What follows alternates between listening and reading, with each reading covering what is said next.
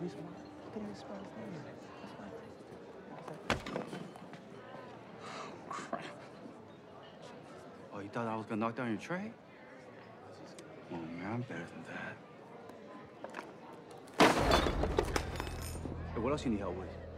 Oh, you want me to sign your cast? Oh, say no more. Hey guys, check this guy out. Standing around with a dick in his hand.